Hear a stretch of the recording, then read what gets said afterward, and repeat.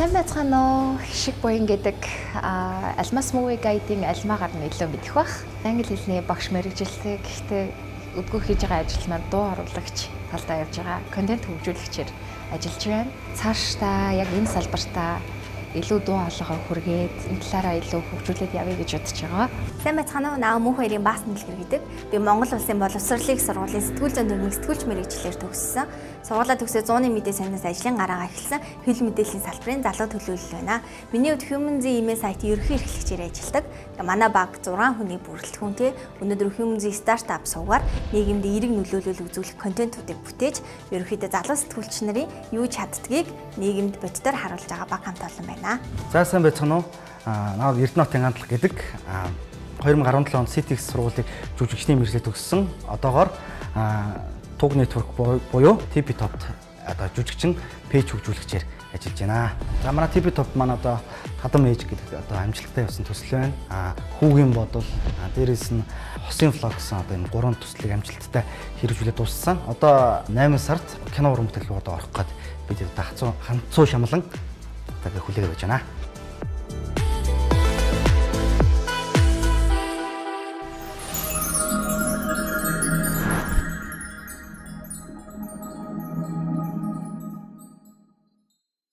Нийгэмдээ хийж бүтээж байгаа залуучуудын ажил амьдралын онцлог төслүүдийн хуваалцдаг и прожект эхэлж байна. Тэгээд яг одоо хажууд Хөмөн зэцгийн минь эрхлэгч Баска өргөд ирсэн. Өдрийн мэнд төргий.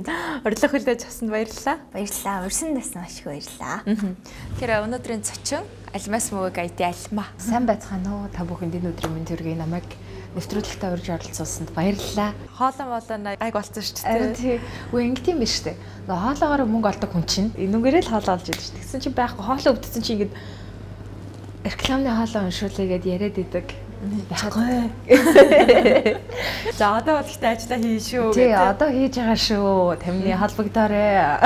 Э прожект нэвтрүүлэг энэ 7 хоногт контент үйлдвэрлэгчдийг онцолж байгаа. Тэгэд яг энэ чиглэл баг анхдагчдын нэг гэж юуж болох TP Top тэр тусмаа жижигчин ганаг онцолж нэвтрүүлэгтээ орсон. Урилга хүлээж авсан баярлалаа. За баярлалаа. Маш их баярлалаа. Тэгэхээр ажил амьдралынх нь хамгийн том төслийг хуваалцъя.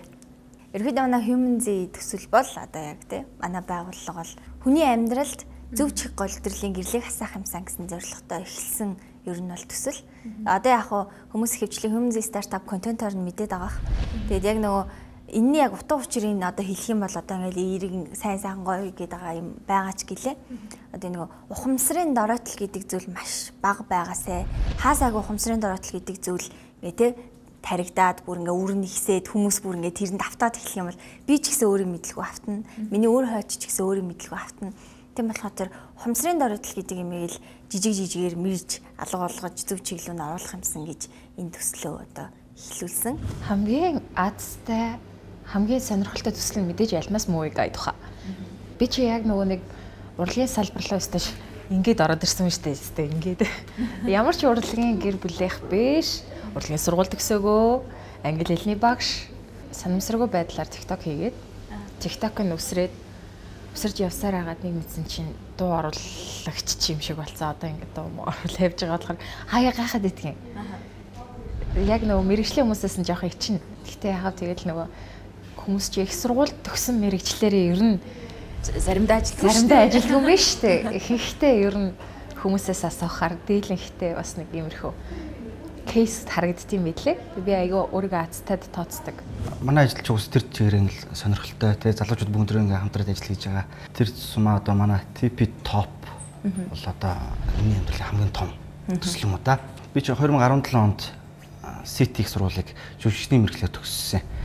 Тэгээд одоо нөгөө хүмүүс хэлдэг шиг ажилгүй нэг 2 жил явж байгаа. 2019 онд Туг Network гэдэг манай нэр компани бол Туг Network компани. Тэрний сошиал маркетинг TP Top гэдэг энэ газар анх удаа жүжигчнэр орж одоо үт хүртэл ажиллаж байна да. Яаж эхэлж ивэл нэрнээс өсвүүлээл энэ анхны алхмаас өсвүүлэл өнөөдрийн ингээд нэг олон хүнд хүрсэн энэ хамт олныг бий болгоход урт хугацааны хөдөлмөр цаг зав гэл олон зүйлээ зориулсан баг. Манай Human Zero эхлээ 3 жил болж байна. 2019 оны 11 сард вебсайт нээгээд одоо нэг ноутбуктэй одоо ингээ эхэлж байла. Дөгөхийн ноутбуктэй. Тэгээд яг өөр яг үнэхээр юу ч байгаагүй. А Human Z гэдэг нэрний хувьд би энэ Z үеийн хүмүүс юу хийж чаддаг байсан гэдгийг харуулж үлдээн би 40 40 50 хүрнэ. А гэхдээ би өөрийнхөө залуу насыг human зэгээс ирэж харна гэж бодож анх human хүн гэдэг үгийг z гэдэг одоо өөрийнхөө ихтэй жоохон тодорхойлж нээсэн. А тэрнээс одоо z-үүд өөр тэг бусд үе ийм тийм гэсэн ялгамж бол энэ нэрэнд огт байхгүй. Тэгээ би бол өөрөө угаас энэ үеийн хүн, энэ үеийн хүн юу бүтээхэл энэ нэрээр төлөөлж харуулж байгаа гэсэн. Манай хайг багаараа жил гарan одоо ингээд явж байна. Тэгээд одоо эргэж буцаад тахгүй надад итгээд итгээд болоод тахгүй хүмүүсийг ингээд нэг баг болгоод цул болгоод бид ингээд нийгэмдээ хэрэгтэй мэ хийгээ явж байгаад айгу гой санагддаг. Тэгээ сүүлийн нэг тууштай ярих юм бол нэг 8 сар орчим контент хийж гин. Тэгээ яг нөгөө бусад контент бүтээгчдүүгээ энэ тэнцвэрт байдалд очиход бидний яг сэтгүүлч мэрэгжил тусалсан гэж боддог. Юм зэ төсөл бол сэтгүүлч нарын нийгэмдээ зориулж хийж байгаа буюу соён нэгэрүүлэх талаас нь үндэс олгож хийлгэж байгаа нэг тийм гэгээлэг төсөл. Сургуулаа төгсөөд англи хэлний багшаар ажиллахаар болоод яана би яг ажлын гараан дээр гараад хийж чаддаг байгаа даа гэдэг нэг тийм айц төрсэн. Тэгээд TikTok гэж нэг юм дөнгөж гараад эхэлсэн. Гэртээ ганцаараа байж байгаа л хинч харахгүй байхт тийм ээ. Уцаа тавьж байгаа нэг Америкчууд англиар их та, англичууд англиар их та, орсууд, энтгэгчүүд, солонгосчууд гээд таван юугаар акцент гаргаж ярьсан. Нөгөөдгөө хийчихэд гарчаад ороод ирсэн чинь амьдралдаа авч үзээгүй лайк шир авсан юмсан. Амар олон комент момент би бүр шок. Хүү юу болоо яач юу гэж өө ямар гоё юм бэ гэд. Тэгээ удаач хүн нэг тийм айгуу сонин сонирхолтой хүн над руу холбоо барьж орж ирээд Мэдүү ер нь иймэрхүү контент дээр сонирхдаггүй нэг ажлын санал тавих гэсэн юм аа гэдэг нөхгүй. Профайл руу нараад харсан чинь нэг л бүтэхгүй царай. Бүтэхгүй царай. Айгаад байгаа дээ чинь сонголт дээ тий. Яг тухайн үед нөгөө англи хэлний багшаар ажиллах санал авцсан. Шалгалтаа өгсөн. Тэгээд нэг тийм хоёр сонголт гараад ирсэн. Тэгээд татгалзчаад багшаараа ажиллахыг бодож исэн чинь манай нэг найз уцстаад чамд яг тохирох ажил байна. Чи яг тийшээ очиод тах гэд. Тэгээд очиод уулзсан чинь надаас ажлын ярилцлага аваад юу хийж чадах вэ? Би англи хэлний багшаар төгсөж байгаа. Англи хэл зам ямар хоббитэй? Кино үзэх гэсэн чинь аа тийм үү. Чиний нэг хоолойны чинь нэг юм байна. Кино үзтiin бол чи нэг кино ярддаг тийм контент хийх үү? гэтгсэн. Одоо ч юу нэг тийм ажил байдаг ч юм уу ч юм уу те айгуу сонин штэ. За чи суугаад нэг кино бичээдэх гээд. Тэгээ яг нэг кино биччихэд хоолойг нь уншиж өчөөд явсан. Тэгээ стил амар игзэхтэй англи хэлнийхаа багшаар ажиллавал би миний ирээдүй айгүй тийм тодорхой тогтвортой байгаад идэг. А энд болохоор нэг тийм сонирхолтой ирнэ маш өндөр эрсдэлтэй юм байгаад идэг. Тэгэл зоос шийдэж чадахгүй болохоор тийм амар дээ. Тэгээ хов тавилан зөв чиглэл чиглэл рүү явуулж та. Тий. Жүжигчнэр төгсөж байгаа ихэнх ер нь залуучууд ер нь театрт байвал их гоё хошуу урлагт бас тий гоё. Аа тэгээд надад хамгийн анх би яг энэ ажил хийхээр нэг буугаагүй л дээ. Тэгээ хамгийн анх би яг ажилд орсон өдрөө яг нэг видео хийсэн бохгүй. Тэгээд яг юунд ороод юу ч хийчихв гэл би чинь амар өндөр өндөр хүн байгаа шүү дээ. Чинь драмд руу орно гэсэн тийм сонирхолтой хүн байж байгаад. Тэгээ хамгийн анх яг энэ бичлэгэнд ороод 2 сар явж байгаад тэгээд нэг шамтармар айдмараад тэгэл буцаал ерөнхийдөө яг сошиалд уусаал гоён мэдрээл те. Жишээлбэл одоо манайх чинь пранк хийдэг гэсэн бохгүй. Тэгээ одоо болцсон байгаа одоо хүмүүсийн аракшн үздэг шүү дээ тий. Шууд одоо ингээл хүмүүст ингээл өдөөл реакшн үздэг тийм ажил. Тэгэл ерөнхийдөө энэ ажилдаа одоо ингээл уусаалаад жаргалтай ажиллаж байна да одоо хүртэл. Маш хүч хөдөлмөр, төсвөр төвчээр хэцүү өдрүүд, шантармаар өдрүүд маш олон хүний нөгөө нэгдүүцэл гэдэг дээ. Чи чадах юм уу болоо, дими юм хийхэ болоо. Ажил сольсон сонио охин юу яриа яваад идэв тий. Бүтэх юм уу, бүтэхгүй юм уу гэсэн юмнууд дундаас гарч ирж исэн. Тэгээ тэр одоо нь надад гоё дурсамж шиг л санагддаг. 2019 оны 1-р сарын 16-нд энэ ажилд ороод хамгийн анхны контентоо хийсэн гэсэн үг. Дөнгөж энэ төсөл эхэлж байхдаа за ямар нэгэн дүр бай. Тэгвэл ямар дүр байх вэ гэл бид нар чинь ярьж байгаа штеп. Нэг хөдөөний охин бай, хотод орж ирээд кино үзэг. А тэгээ хөдөөдөө очиод найзуудтай үзсэн киногаа одоо хөөрхөн байдлаар тайлбарлаж өгөхөөр тиймэрхүү байдлаар явъя гэж ярьжсэн байхгүй. Тэгээд дулмаас movie guide гэж эхэлэх гэжсэн. Аа за. Тийм тэгээд дулмаа. Гүй гүй ядаж альмаа гэд. Тэгээд альмаа олж исэн. Тэгээд нэг тийм дээлтэй, ус аялахтай нэг охин Беллагийн тэр улаан айгу гоё машиныг портер мортер гэж ирэл ярьдаг штеп. Аах бол яг тэгж хэлчихсэн. Тэгээд чиний хоолойны темберт ер нь хөдөөний юунаас илүүтэй нэг тийм айлгүй хотын нэг тийм ийм охины дүр таарах юм байна гэд. Тэгээд тийм дүрээр иржсэн. Анх бол өстой амар үгээр идүүлчихсэн санаж байна. Яг нөгөө нэг тийм айлгуу майлгуу ингээл яриад эхэлчих хүмүүс. Йоо ямар шижгээ болоотой, ямар муухай болоотой юм бэ? Ямар муухай халцгаар айлгуу ярьдаг юм бэ гэлтэй. Ахандаа яах вэ нөгөө тийм шүмжлэл ерөөсөө сонсоогүй, сонсож сураагүй юм чи өстой. Ширэгээ дэрлээ л уйлж байгаа юм чинь манай ажиллах яриад зүгээр штэ би байл. Манайх чи ерөнхийдөө бол сошиал ертөнцид хар бараа юм мас жоохон тий ангид ийм аж аргалтай happy ийм юмыг ер нь нийгэм түгээх зорилготой. Тийм түүнээс бол юм болгон дээр тийм айхтар тийм санаа агуулдаг. Манай бичлэгч дандаа ер нь эрг байдаг шүү дээ. Ер нь тийм аимшиг аимшиг тийм янз бүрийн тийм адлын явдал одоо тийм контент бол байхгүй. Манай яг нөгөө юм битсэн юм, ярьсан юм, уншсан юм. Одоо энэ бүхний дараа ч гэсэн хүн нэг юм авч үлдээсэй гэж бодсон үднээс бүх юм хийдэг. Аха хүн хэрвээ юм үтсэн бол цагаа зарцуулсан бол тэрнээс заавал нэг юм авах хэрэгтэй.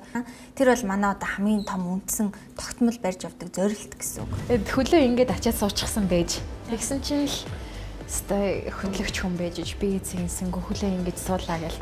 Үнэхээр шантарсан би. Одоо ямар нэгэн хандлт авъя гэж чичрэхгүйгээр хүнд тусдсан болый энэ нийгмийг ингээ хажуу талаас нэг жоохон өргөх юм хий гэсэн байдлаар контент хийсэн байна. За яаж хүмүүс таньж гинүү манж гинүү гэл үгүй үгүй гэл.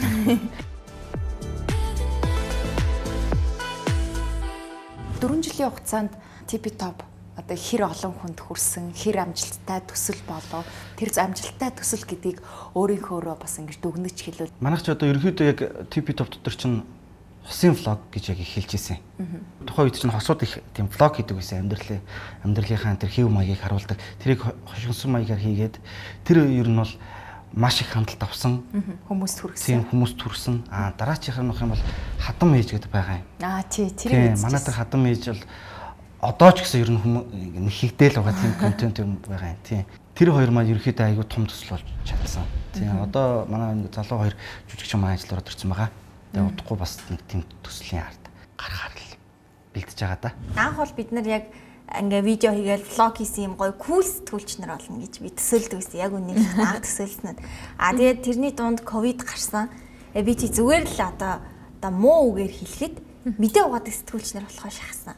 Шантраад ингээ хийж байгаа юм маань ингээд үр дүн байхгүй хүмүүс тоохгүй амар хичээж хийгээд байгаа хэрнээсээ үрдэн байхгүй болохоор хүмүүс маань урамгүй болно нэгт урамгүй хүмүүсээс ажил хийгээд ээж болохгүй би тэнэг болно тий тэр ингээ маш хэцүү үед байсан тэр үед нэг юм контент хийгээ үзчих юм сан гэсэн бодол бол байсан. Тэгээд тэр дундаас ингээ явсаар байгаа яг сүүлд 8 сарын одоо одоо өнгөрсөн зуны сүүлээр гэсэн үг шүү дээ. Контент хийж үзээгээ. Тэгээ хамгийн гол нь хүний их мэдрэмжтэй. Тэгэнгүүтээ амьдралд болдог хэрнээ хинч хилдэггүй Тэгээ тэрэндээ ингээд тагтаршаа яваад идэг юм ингээд зүгээр байгаа нь гаргаа ич ямар хамаатай тий. Тэгээ жишээ нь би одоо жишээ нь ямар дүр толох худалч болох юм уу, улгаач болох юм уу, зэвүүн болох юм уу тий. Тэгээ ямар дүр бүтээх хамаагүй, явдалтай хүн болох юм уу, юу болох юм надад хамаагүй. Тэр энэ санаанаас хүн юм авч ивэл болоо. Ийм зоригтойгоор хідүүлээ эхлүүл эхлэгээд контент хийж эхэлж ийсэн. А тэгээ тэр дунд гарч байгаа үр дүн гэх юм бол бид нар одоо нэг 4000 орчим мэдээ материал нийтлэл буюу одоо оюуны бүтээл вебсайт дээр нийтэлсэн байна. 75 сая орчим үзэлт цуглуулах буюу дан одоо ямар нэгэн хандлт авъя гэж чичрэхгүйгээр хүнд тусдсан болый энэ нийгмийг ингээ хажуу талаас нэг жоохон өргөх юм хий гэсэн байдлаар контент хийсэн байна. Би тэднийг ингээд байгууллагаараа аялахгүй юу. Тэгээд би тэд ингээд зүгээр аялж чадхаа болчих юм ихгүй бол гимтэй юм шиг. Тэгээд би наа чи сэтгцэн өвчин шүү. Хэдүүлээ зүгээр амарья гэсэн амарч чадахгүй. Тэгсэн чинь нэг ийм бичлэг байдیں۔ Нөгөө саготоор янчка хүлээгээл ингээл байгаа гэсэн чи янчка ирэхгүй ирсэн чи хөдөө авчиж амар өстөх үзсэн юм байна. Хүй найздаа гэлээ тэр бичлэг ингээд нэг өдрийн дотор бүр ингээд төсөөлснөөс амар явсан. Тэгэл бүр ингээд яг 100 цагч байсан хүмүүст ингээд таарсан. Тэгээ аа болт юм байна хэдүүлээ ингээд хөвчлөлтэй юм дундуур нь байлгаж хүмүүсийг бас ингээд жаргаах юм хийх хэрэгтэй юм байна. Тэгэхгүй дандаа асуудал хөндөлтэй монголчууд юм шиг монголчууд юм шиг гэдэг бид нар өөртөө хийн тий. Тэгэхээр хэдүүлээ юм гоё гэгээлэг юм дундуур нь хийх хэрэгтэй байна гэдэг Тэр яг тэр янчгийн дээр бичлэгийг орсноос ич би бараг өдөрт 20 үзчихсэн. Тэгээд тэрийгээ гой санаг тэрийгээ л үзээд. Би өөрөө нэг тийм жоохон шүмжлэгч талын ч юм уу, төр туртай ч юм төрх өгөхийн заагийг амар ингээ залуугасаа бодоод тэр хооронд хүмүүсийн цаг хугацаагаа дэмий үрж байгаад айгүй ингэж халгалдаг төрлийн сонин залуу байхгүй юу? Тэр чиглэлээрээ контент ихээр жоохон таарах шууд л ингээл хүн болгонд хүлэн зөвшөөрөг дээр гараад ирдэг зүйл бас их ховор шүү дээ. Тэгэхээр энэ донд мэдээж одоо хамгийн шүүмжил дагуулж исэн юу байв? Эсвэл за энэний лард гарчиг гэд ард нь гарч исэн том ажил юу вэ те? Альмас мууиг гайдаас гадна альмас тег гайд гэж хийж үзсэн movie interview гэж хийж үзсэн. Movie interview дээр бол бүр аим шигтэй. Бэ чи одоо нөгөө өөр шиг чинь мэрэгжлийн сэтгүүлч хөтлөгч хүн биш тийм ээ. Тэгээд э, дээрэс тушаал ирж байгаа юм л та. За ингээд ер нь бол кинотойгоо холбоотойгоор ингээд жүжигчдтэй яриа авах хэрэгтэй байна Гэт хамгийн анхны удаа би Барсаахаас э, фантастикийн Барсаахаас бүр хамгийн анх шүү дээ. Эхлээл өөрөө айж байгаа юм чинь. Тэгээ яахав те би чи нөгөө хүндлэл гэдэг юм байх хэвээр те. Та гэд дуудсан чинь хүмүүсээс за ийм хөгшин царайтай юу чи Барсаагаас хөгшин харагдаж ш таамаа ч шиг гээл ёо. Тэгэл Темка хахаас э, яриа аваад ингээл байж захта яах вэ? Нэг тийм ингээд тийм хайрлсан харцаар харж ч л дээ би ингээд Тэгэл их нэртэй хүнлээ ингэж харлаа гэл те. Заримдаа би нөгөө айгүй хээ хаагүй юм баггүй юу. Тэгэл нэг тийм эмгтээлэг биш те. Хөлөө ингэж ачаад суучихсан байж. Тэгсэн чинь л стай хөдлөгч хүн байж би цэгэнсэнгөө хөлөө ингэж суулаа гэл. Үнэхээр шантарсан би. Тэгээд манайхан зүгээр тэр тусмаа контент маань айгүй сайн авчихсан зүг гэл те. Гүй надах чинь сайн биш ээ би ингээд те. Юу 200 хэдэн комментийн баг 200 нэм биш те гэл Ямар ч үсэнд нэг тийм амар гой гой туршлагууд байсан. Туршлагууд нь сорилт болсон. Сорилтуудаа яг давсан хэсгээ сайн мэдэхгүй лээ. Тэгтэл тодорхой хэмжээнд бол маш их фейлдэж яваа. Одоо бүр амар их фейлдэж яваа. Би чинь яг ажилд ороод ерөнхийдөө манай ажлынхан чинь продюсер энэ заа яаж хүмүүс таньж гинүү маньж гинүү гэл үгүй үгүй гэл. Тэгээ хамгийн анх яг нэг би ч өөртөө бичлэг их үздэг байхгүй. Пранк гадаад пранк байсан. Тэгээ тэрийг үзээд тэгээд энийг хийж болох юм байна гэд миний хайр залгаж ийн лүү гэх тийм пранк хийжсэн байхгүй яг ихтлүүрийн урд. Тэр одоо ерөнхийдөө баг худалчин тухайн үедээ ер нь хамгийн өндөр хандлттай 100к лайк. за миний санджаагаар нөгөө нэг зураг дараад өгөөч гэх тэнгүүд аа. Тэр ерөнхийдөө тэр яг бичлэг гарсны дараа л ерөнхийдөө хүн танигдж ирсэн юм уу? Тийм бичлэг нөгөө пранк хийдэг залуу шүү дээ. Энэ хараа энэ хараа би ийм хүн биш ээ би баргийн юм хийчнэ гэсэн бодлоор ч юм уу тийм ингээд амар давлуун явж агаад хэцүү ирэхээр болчигээ хайж өрсөж чадахгүйсэн. Эргээ ээж аавынхаа царайг харна. Эргээд найз нөхдийнхөө царайг харна. Эргээ багш нарын царайг харна. Э би болчих юм бол би хинч болно. Дахиад юу ч ярьсан өчгүй болно. Тэгээ эн чинь ингээд зүгээр л нэг одоо жоох охины юм ихлүүлэх чаа хүсэл юм шиг ирнээсээ хүний амьдралын нас явж байгаа шүү дээ тий. Тэгэж одоо амар хэцүү санагдсан ч гэсэн өсрөөл нэг 7 хоног мярж байгаа л тэгвэл өөрөөр хийж үзнэ гээл. Тэгэл жоохон хийж үдчихэл хүмүүс авна. А нүг энд дэмжихгүй байна. Тэгвэл энэ рүү нь явна гээл. Тэгэл жоохон хэцүү санагдал ер нь энэ хинт хэрэгтэй юм би. Би юм хийсэн ч ялаа хийгээгүй ч ялаа. Энэ нийгэм ямар вэ ямар хамаатай. Зөвлөлийн ажилд ороо явчих чадна штэ гэж бодсон хэрнээсээ хэрвээ хийчих юм бол би энэс өөр байранд очино гэж бодогддог байсан болохоор хэрэг хийдэг. А тэгээ та мэддэг байх нөгөө шуук нийтлүү гэдэг нэг фуудс байдаг. Бүх хэцүү үедээ дотроогоо бүх митнэр гаргачихдаг. Аа тийм. Шууд ингээл одоо бол хүмүүс харахтаа гонхтой хүн байгаад идэж хардсан шүү. Гэтэ яг тухайн үед одоо тохиолдож байгаа хүний гаргаж байгаа новшийн зан ихтгэл алдж байгаа юм.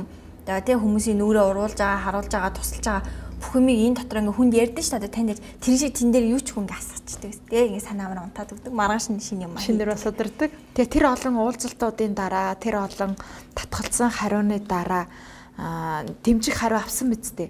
Авсан. Аа тэр бол яг хаа мэдээж одоо бизнесийн түншийн хүрээнд бол нууцлагдмал а гэхдээ ил гаргаж болохуд зүйл нь юу вэ гэхээр би ороод яг альбтай юм шиг аавда ховлж байгаа юм шиг урд нь зогсож байгаа тий Монгол улс чинь би юм хийх гэж үзлээ. Хэвээ болдгүй юм байна. Юм хийхэд яагаад болохгүй байгаа мэдгүй. Би юм нэхэл суугаагүй. Тэгээд би их юм хүсээгүй. Тэгээд одоо та үнэхээр хүнд одоо итгэдэм бол тий тийм хөрөнгө оруулагч муу юм бол одоо наттай хамтарчхаа миний одоо ахуй амьдралаас эхлээд нь ухаан бодол бүх юм энэ төсөлтөд холбогдчоод байна. Би энийг хизээч хамаагүй хаяад бүтэх ч юм уу тийм юм байхгүй. Надад одоо танд одоо барьцаалах юм би өөрөө л байна гэж хэлээд орсон. Э, тэр хүнийг яг үнийг хэлэхэд нэг тийм жоохон энэ өхөө яагаад байгаа болоо гэсэн байдалтай амар төгшөж хүлээж авсан. Тэр дунд ямар ч бизнес ил байхгүй, ямар ч харуулах төсөл байхгүй, ямар ч тооцоолол байхгүй, ямар ч үр ашиг байхгүй юм ийм сонио хоёр цэс барьж орсноор ингээ уурлаад найраад исэн гэх юм. Тэгэж явж исэн тийм гэсэн хариулт авч исэн. Одоо тэр хүндээ маш их баярлдаг. Тэр хүнийхээ хувьд яг анх тэр өрөөнд нь орсон баска чигээрээ тийм хөдөлмөрч хий бүтээ гэсэн хүн байх юмсан гэж хичээдэг. Манай яг Туг network гэдэг энэ сошиал компани бол бусдыгаа бодох юм бол арай жоохон даацтай гэх юм уу арт талтай гэж ярьдээ шүү дээ. Арай нөгөө хүүхд одоо нөгөө залууч сэтгэлээрээ хийж байгаа шүү дээ. Манайх болохоор боломжтой артаа спонсортой одоо зарга зэрэгтэй тэгээ опс юм аягаа ижилдэг. Одоо бусдууд ч нь болохоор нөгөө сонирхлоороо болохоор тэ нэг завандаа англи бичлэг мэтлэг хийдэг. Бидүүс яг одоо ажил яг энэ болцсон байхгүй юу? Бидүүс яг хамгийн анх TP top бичлэг хийдэг байхад мистеризм яг миний бодохоор кино л орсон байсан. Аа молпедиа зогссон байсан. Тэгээ ерөнхийдөө яг TP top л яг хамгийн хандлт ихтэй гэх юм уу хүн болгонд хүрч эхлээл Тийм одоо бол яг нэг залуучууд ч бүгд гарч ирж байна шүү дээ. Яг бүгд харцсан а нэгээр ингэж ажил хийж болт юм. Заавал одоо цоох шаардлагагүй те ингээд ийм амрах хэлбэрээр аргаарч гэдэг юм уу? Ийм юм өрсөлдөгч бол зөндөө болсон байгаа. Ээжи би жижигчин болмоор ээ гэсэн чи нээж. Манай удам тийм хүн байхгүй боломжгүй гэсэн байхгүй. Би ч одоо уул матин сонгоны хөхт байхгүй. Тэгээд 27 матин ийш өгөл би ганцаар ангиасаа матин ийш өгөө гүтгэл урлагийг сонгосон доо. Багш болохоор мост хуваар өгөө тэнцээгүй. Тэгээд ааж ярах метр үед нэлээ хуулж исэн л байна.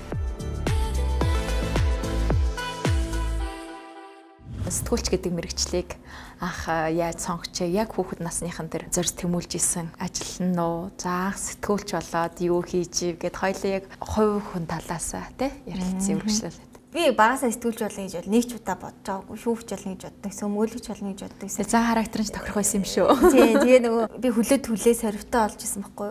Тэгээ хөлөө түлчлээ одоо ингэ торкон өмсөө дубль өмсч чадахгүй. Шилэн торкон өмсөө багш бол өдөө өч гэж илүү миний нэг тийм инээтэй яриа мэрэ мэд ээж аваар яриад л. Тэгээд багтаа л өөрийгөө багш болно гэж боддог байсан. Тэгээд багш болохоор мост хуваар өгөө тэнцээгүй. Тэгээд ааж ярах метр үед нэлээ хуулж исэн л байна бодвол чихтийн он цурайцсан хүүхд нэгдээ сургуульд ганцхан сургууль бүртгүүлсэн. Тэгээ өөрөө бүртгүүлээгүй тиймдээ тэнцээгүй. Тэгээд яг хуу ярилцж байгаад манай ээж намайг сэтгүүлч бол чадна гэж яагаад бодсон мэдхгүй ямар ч хийсэн сэтгүүлчийн ангид орсон. А тэгээ сэтгүүлчийн ангид 4 жил сураад бас өөрөө сэтгүүлч болно гэж төсөөлчихгүй сургуулаа төгсчихсэн. Багш нар надад их итгэж төгсгсөн. Хүн итгээд ингээд явуулж чаа хүн ингээд зөнгөртий гэсэн чинь ингээд лээтэй босч ирээд. Тэгээ сургуулаа төгсөөд одоо би юм сурах хэрэгтэй. Шууд 100-ны мэдээ санины үүдэнд очиод би сэтгүүлч бол явагдсан. За сүүрээ 100-ны мэдээ санинаас тавиад newspress-ийн ажиллаж исэн, төрийн албанд ажиллаж исэн. Тэгэд энэ хугацаанд юм бичиж үтсэн. Миний нөгөө хувийн юм ухаая цаад учрыг нолъё надад нэг хашааны газар болтгүй бах зайсангийн уулыг хин ингэ тойруулаад юу байгаа гэсэн бодол ч юм уу тий одоо нэг ийм тэнцэг ч юм уу үнцэрхэг юм уу мэдгүй нэг юм чанар байлээ надаа. Тэгээ би тэрүүгээрээ нийтлүүд амирх бичдэг байсан. Тэгээ ингээ одоо чинь аялагч хүнтэй ярилцлаа гэхэд тэр хүний харсныг би хараагүй болохоор ядаж уншаад миний сонсоо мэдэрчний хүмүүс уншаад мэдрээсэй гэж ч юм. Би өөр бичдэг төрлийн сэтгүүлчлээ. Яг мэрэгчлэрээ 3 жил ажилласан. Маш гоё ажилласан. Тэгээд э, өөрөө вебсайт нэгэд гарсан. Гэр хороолт өссөн. Усны дэрэг гэдэг очтой байсан охин байна. Налахт 10 жилээ төгссөн. Анхнаасаа англи хэлтэй л аягүй сайн байсан билээ. Жүжигчин болох хүсэл мөрөдөл байсан. 8 дугаар ангидаа нэг жүжиг үзээд гэртээ ороод нүдэнд гэрэлтсэн. Ээжи би жүжигчин болмоор ээ гэсэн чинь ээж. Манай удам тийм хүн байхгүй боломжгүй гэсэн байхгүй. За за. Жохон байж байгаа л дахиад хэлж штэ. Ээж би өстой яг л жүжигчин болмоор байна гэсэн чинь. Үгүй яхаа байж болно л доо. Жүжигчин ялангуяа эмэгтэй жүжигчин болвол өстой амар зөрөгтэй байх ёстой шүү чи одоо тэгэл кино менон дээр ороод хувцас тайчих хэрэг гардыг билж та чадах юм уу гэд намайг дэгдэхгүй. Нь чаднаа ээжээ гэдгс. За тэгвэл харъя. Тайлаад нэг гарч ирэх юм уу гэдгсэн баггүй юу? Манай ээж тэгсэн тэхүү гарчаад ирэх юм уу? 8 дугаар ангиохныг тий. За за яах яах гэдэг болчихсон заяа. Тохойд яах вэ ингээд эхнээс нь тайлаад ирсэн бол за за за за окей үнэхээр хүсэж байгаа юм байна. Окей гэх л байсан баг л та. Тэгээд яхав те ер нь л нөгөө мэрэгжил сонголтын дээр нэг гэр бүлэрээ сайхан хамаатнууд бүгд тойрцорж байгаа. За чи хэн болох вэ гэж ярьдаг штэ. Маа гэрхээ яг тийжсэн. Манай гэр тийм хүн алга чи тийм хүн бол гэдэг. Яг тийдэг. Маад ойлгоход ажилтдаг хүмүүс байдаг. Ах эгч хоёр мань хоёулаа ойлгоход ажилладаг. За тэгэхээр чи ер нь овоо хөөрхөн англи хэлтэй юм байна. Тэгэхээр одоо ерөөсөө нэмээд хятад хэл сурчих англи хэлтэй хятад хэлтэй орчуулагч болно оюутлахад ажиллана тэндээсээ нөхөр болно тэгээд байрныхаа лизинг төлөөд чи гоё амьдрна хамгийн нийтдээ нь яасан бэ гэхээр би яг л тэр замаар нь муйсын хятад хэлний ангид орсон заяа ороод 2-7 хоногийн дотор яалтчгүй бууж өгсөн. Анхнаасаа миний хүсэл зориг байгаагүй шүү дээ. Зүрх ингэж догтлохгүй байсан. 2-7 хоногийн дараа за за худлаа юм байна. Би боллоо гэд сургуулаа хийсэн. Жил нууж явсан. Өө харин жилтэй тий. Тэгээд насаараа нууна гэж байхгүй. Тэгээд 7 хоногийн 7 өдөр англи хэлний ярианы клубуудад явж эхлээд. Тэгээд жилийн дараа баригдсан да баригдсан. Тэгээд яг алуулах юм болов гэсэн чинь бас алдгүй юм байлээ гэдэгхгүй амар муухай тий.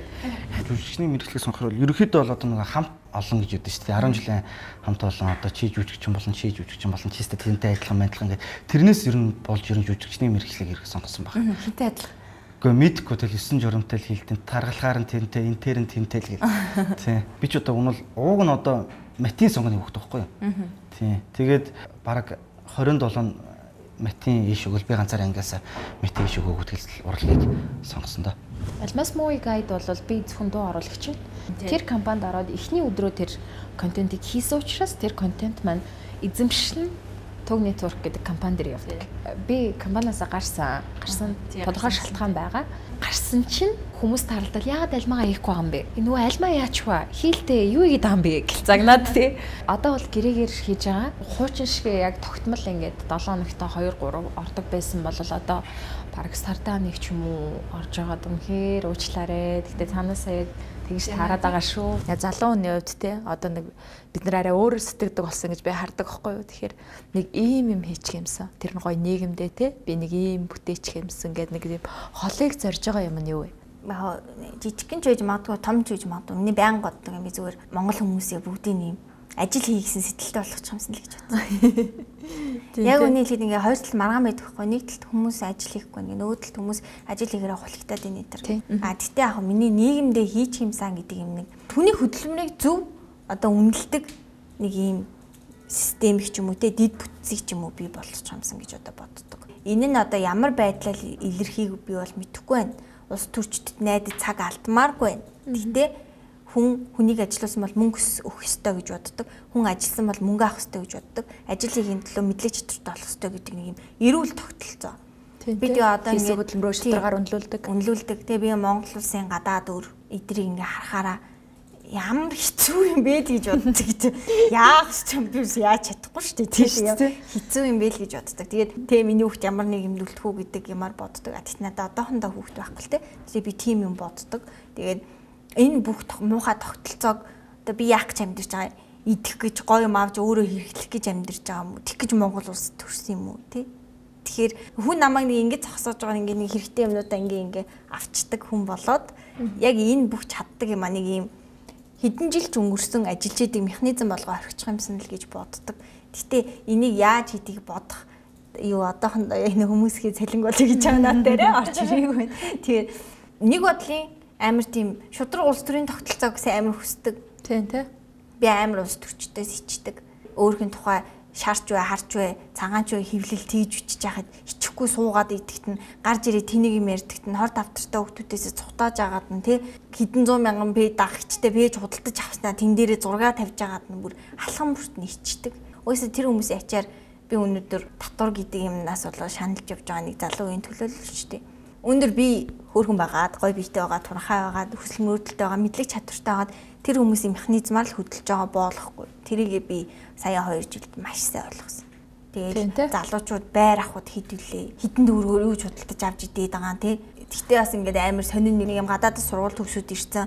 Тэгээд ингээ боловсралтай тий ингээл юм ярихтаа заавал драфт байна уу тий үндсэн системээ танилцуулчвал тий нэг ингэж англи монгол хойлж ярьдаг мэдлэгтэй болж ирж өндөр цалин дээр очихгүй бол Монгол улсын боловсролыг сургууль төгсөө сонин сүрээ эзэлсэн би бол одоо тэднэрт гологдоод байгаа хгүй. Энэ миний буруу биш уус надад хятадд ч юм уу Америкт ч юм уу очиж сурах боломж нь байгаагүй. Стресс гэх юм надад их байдаг. Э, энэ болгоныг одоо ингээд стресс гэхэд хамгийн гэгет юм манай хүмүүс зил ахгүй. Тэгэл би ажилдаа дуурлаад ажиллаа идэг. Би зүгээр өөрийгөө хязгаарлах дурггүй шүү дээ. Тэгээд цаашдаа бол дуу оруулагч гэдгээрээ илүү мэрэгшээд энэ тал руугаа явъя гэсэн бодол байгаа сонирхол маань энэ тал дээр байна. Яг үннийг хэлэхэд би нөгөө хит хитэн контент дээр, хит хитэн кинон дээр бас явж үзсэн. Тэгээ яхав нөгөө нэг өсвөр насныхан хэрвээ үзчихвэл хандаж хэлэх юм бол гэдэггүй юу? Начиг үйж магадгүй л дээ. Гаднаасаа ингээд аюу гоё харагддаг тий яг энэ төрлийн юм амар гоё харагдаж гисэн дотроо бас аюу хэцүү юмуд байд юм билэ. Жишээлбэл ингээл нойргүй, хоолгүй кино ч өстэй амар юм билээ штэ. Хизээч дуудаал ил найруулагчтай амар загнуулаад вэ. Сургуулийн төгсөөг би ч гайгүй загнуулдаг л та. Тэг би ер нь бол олдоо хорлогчаараа илүү мэрэгшээд явъя гэж бодож байгаа. Боловсрал телевиз хүлээгүй намаад ян тэр хамтарсан гинтийн зочд гэдэг уран сайхны кинонд тоглосон. Олон ангит кино 24 ангит кино. Тэгээд ерөнхийдөө одоо яг уран бүтээлч хүний талд гэх юм бол нэг тайзны жүжигч юм уу эсвэл одоо нэг театрын тийм гоё кино, тийм дэлгэцэн кинонд тоглох л одоо сонирхолтой байна. Би ч өөрөө ерөнхийдөө эсрэг талын дур гэж боддог байхгүй юу? Өөрийгөө өгнө. Би эсрэг талын тэрээс итгэж харагдахгүй байна. Тийм, эсрэг талын дур тоглох юмсан гэж их мөрөөддөг. Тэгээд яах яах аргагүй ингээд хүүхдүүдийн хайртай поророо болоо сууж байна. Аа, манай талын царайтай тий. Тийм л юм шиг байна да. Ууг нь. Кино уран бүтээлийн санал хэрэг ирэх үү? Ууг нь эрдэн. Аа. Би жоохон нөгөө буцаах юмдаа нэг ажил сайн болж өгөхгүй. Алдж ийн гэдэг чинь хийж ийн гэсэн үг шүү дээ. Хийхгүй байгаа хүн чинь ямар алдаа гарах вэ? Шүмжлээл сууж идэг. Хамгийн гол нь яг сошиал бол хийгээд их хамгийн чухал хэрэгтэй байхгүй. Давтамж.